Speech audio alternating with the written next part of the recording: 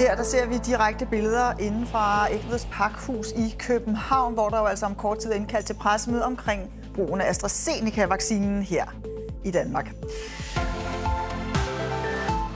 Og velkommen altså til en ekstra udsendelse her på DR1 og på DR.dk. Vi sender altså, fordi at Sundhedsstyrelsen har indkaldt til pressemøde her kl. 14.